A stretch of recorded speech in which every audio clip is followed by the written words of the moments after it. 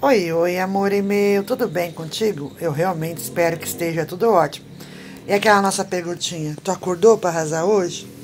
Hoje o nosso barrado vai ser esse da nossa série, né, do kit semaninha. Também é super fácil e rápido de fazer. Olha, olha, olha. Então, bora lá? Vamos lá para a lista de materiais? Uma boa aula e Deus abençoe. Para confeccionar nosso barradinho, eu vou estar utilizando um pano de uma sacaria, pano de copa, já com bainha, que você encontra lá na, na descrição desse vídeo, vou deixar o contato. E também, se tu quiser adquirir com bordado, também vai estar na descrição do vídeo o link, tá? Esse barradinho, ele é múltiplo de 4 mais 1. Então, tu vai fazer um, dois, três, quatro. Um, dois, três, quatro. De quatro em quatro. No final, tu vai botar quatro mais um. O meu aqui foi múltiplo de quatro. Eu consegui colocar 44 mais um, ficou com 45. Então, tu vai usar os múltiplos. E vai... Ah, por mais um, tá? Múltiplo de quatro mais um. Então, para essa videoaula, eu vou estar tá utilizando o fio Natex 295. Tu pode estar tá utilizando o fio da tua preferência, que está acostumada.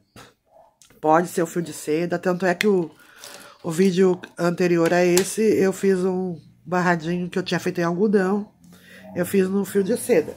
E dou parabéns para as meninas que trabalham com fio de seda. A agulha já machuca meu dedo e o fio de seda também. Mas elas são valentes, né? Então eu vou usar agulha compatível com o meu fio, tá? Tu usa a tua agulha e a tesourinha para remate. Vamos perguntar, qual agulha que tu usou? Eu tô usando a 1,25, mas não é a adequada para o fio da Tex 295. A Tex 295 nós precisamos usar um fio, um, a indicada é 175. Tem gente que usa até a agulha do, número 2. Então, vai depender de ti, tá? Eu vou fazer um nozinho inicial aqui, ó. E vou mostrar como é que eu faço, inicio o meu caseado. Da mesma forma que eu inicio, eu... Esse cantinho eu termino lá também, assim, com, como eu faço aqui, ó. Vou puxar minha laçadinha, furei o pano bem no cantinho. Fecho com ponto baixo. Só aqui que eu vou arrematar esse fio aqui, ó. Eu levo pra lá, depois eu deixo pra cá. Aí a gente vai furar aqui, ó, o cantinho, faço um ponto baixíssimo. Volto aqui, retorno o mesmo espacinho, puxo o meu fio. E eu tenho mania de pegar esse fio e ir arrematando junto. Faço um ponto baixo. Agora fazer uma, duas e três correntinhas. Tu já pode estar tá cortando esse fio aqui, né? Agora eu fiz três correntinhas só pra virar aqui, pra ficar, não ficar repuxado, sabe? Ó, puxei, faço um ponto baixo. Vou fazer uma, duas correntinhas agora. O meu caseado de duas correntinhas. Eu dou espaçamento e faço um ponto baixo. Se tu não consegue fazer o teu caseado legal, tu pode estar tá usando a régua para estar tá marcando, tá? Ó, duas correntinhas.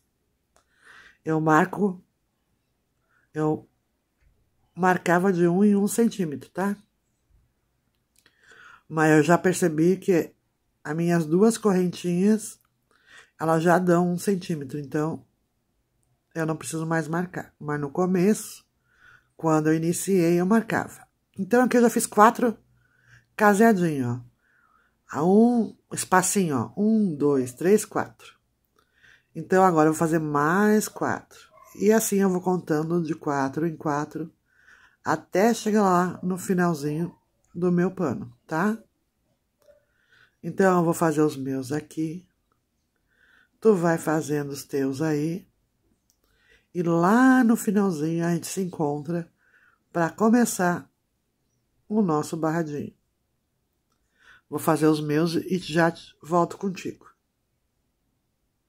Vim contando de quatro em quatro e agora aqui no final eu fiz os últimos quatro. Agora eu vou fazer o mais um, duas correntinhas, furo meu tecido, puxo, fechando com ponto baixíssimo, ou pode ser ponto baixo mesmo, vem aqui dentro, no mesmo espacinho puxo, faço um ponto baixo, e agora para fazer a viradinha, eu colocaria, colocaria mais três correntinhas fecharia aqui e começava meu casadinho da lateral. Mas eu não vou fazer isso, nós vamos começar daqui o nosso barradinho já. Então, quando finalizar o meu barrado, que ele vai ser finalizado na direi no direito, né? Aí que eu vou descer na lateral e vou fazer o meu, o meu caseado na lateralzinha, finalizando assim o nosso barradinho. Então, aqui eu vou subir três correntinhas. Vou laçar o meu fio, vou entrar aqui dentro desse caseadinho, vou fazer um ponto alto. Dois pontos altos. Duas correntinhas e dois pontos altos.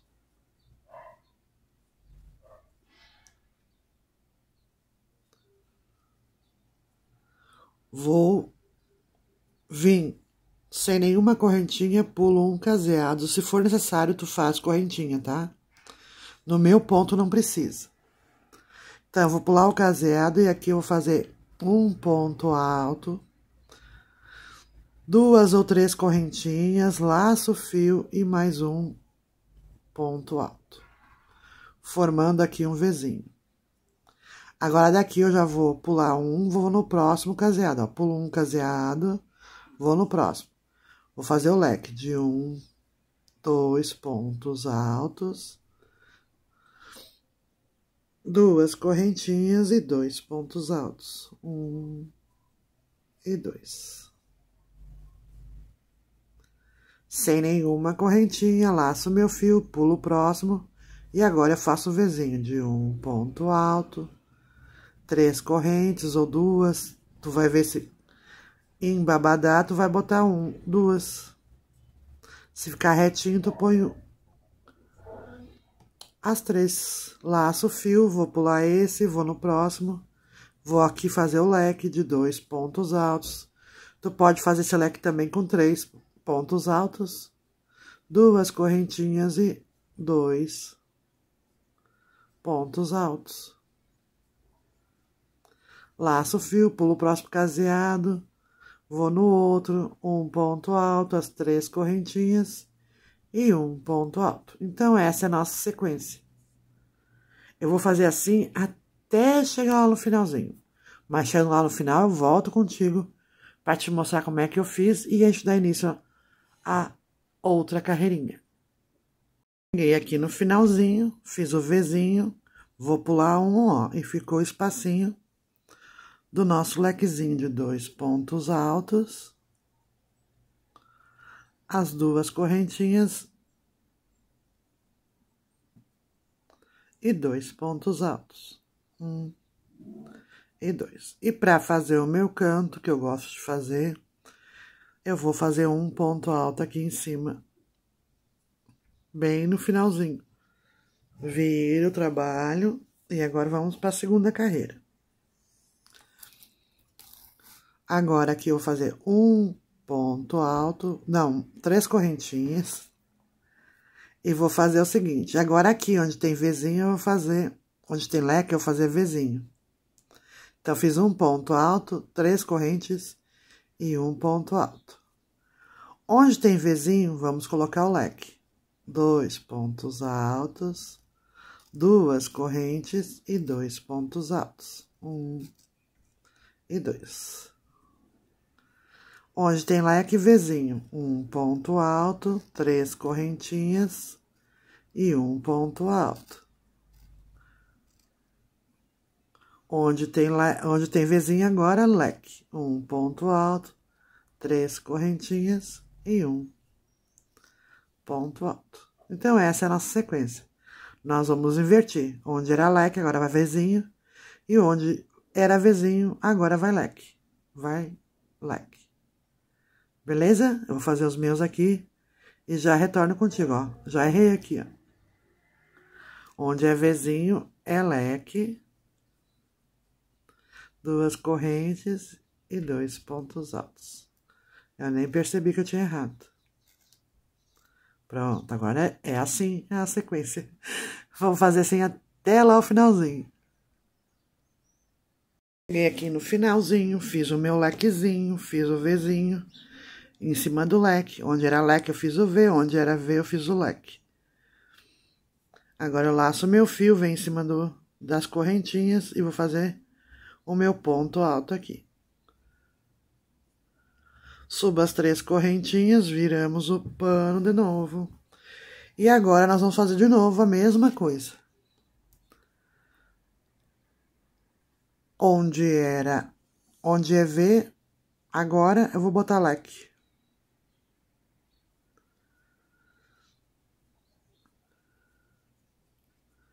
Um, dois, três. Não é só dois aqui. e mais dois pontos altos. Agora, onde tem o, o lequezinho, colocamos o V. A mesma repetição. Então, eu vou fazer aqui os meus. Faz os teus aí. E a gente se encontra para fazer já a nossa última carreirinha. Mas nada impede que você continue fazendo várias várias carreirinhas. Até a altura que tu achar que vai ficar legal. Eu fiz só quatro, porque eu quero é da série barrado rápido, fácil, lucrativo, né? Para fazer semaninha. Então, quanto mais simples, mais rápido de fazer, muito mais a gente vai fazendo, né?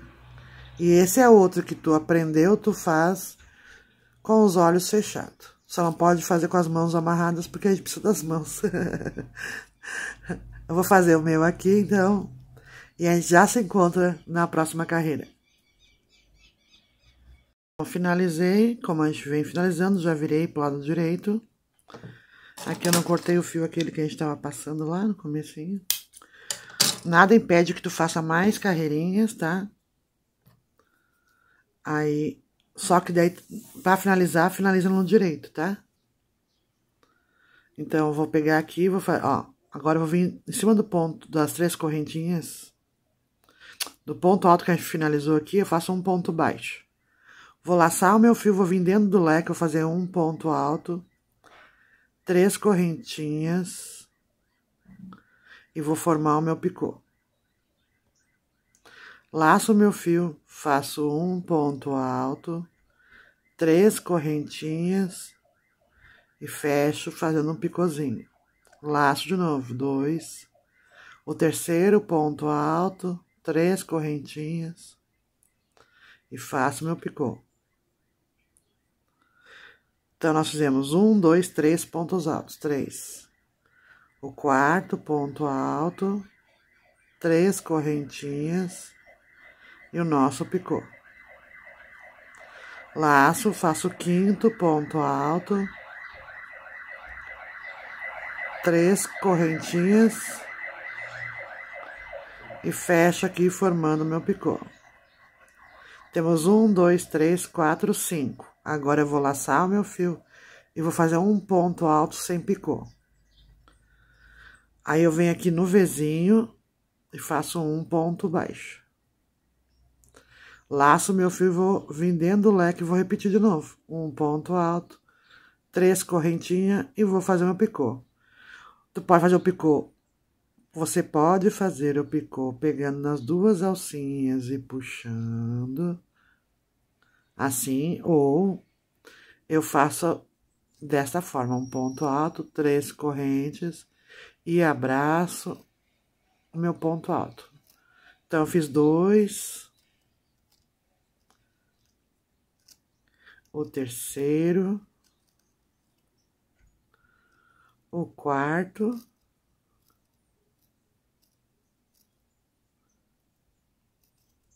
E agora o quinto ponto alto com picôzinho. Lembrando e que esse e outros barrados eu vou eu fiz uma playlist lá com o título, né? Barrado fácil lucrativo. Aí vai ter todos esses barradinhos lá. Da série Temperos, né? Que eu mostrei o vídeo. Tem vídeo aí, se tu não viu, dos bordados, panos bordados com tempero. Eu vendo eles, quem quiser adquirir o pano para fazer o crochê, ou o pano já com barradinho. O link vai estar na descrição do vídeo. É só me chamar. Um, dois, três, quatro e cinco. Um, dois, três, que eu faço um orçamento para ti. Fiz o quinto, agora um ponto alto. E os cachorros do vizinho decidiu latir. Então, a gente vai fazer assim até o final.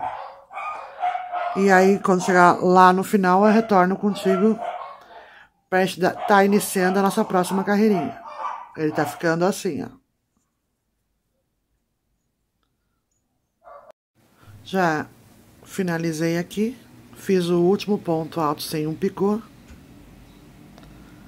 Então, foi cinco com picô e o último sem picô.